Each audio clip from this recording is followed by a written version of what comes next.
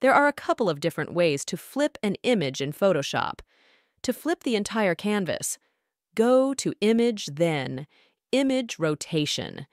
Choose either Flip Canvas Horizontal or Flip Canvas Vertical. This will flip the whole image. It works great if you have just a single layer. To flip only a specific layer, select the layer you want to flip in the Layers panel. Use the keyboard shortcut Ctrl-T or Command-T on Mac to bring up Free Transform mode on the layer. Right-click on the selected layer and choose Flip Horizontal from the menu. Press Enter to confirm the Flip Transform. This flips just one layer, leaving the other layers in place. And that's all there is to it.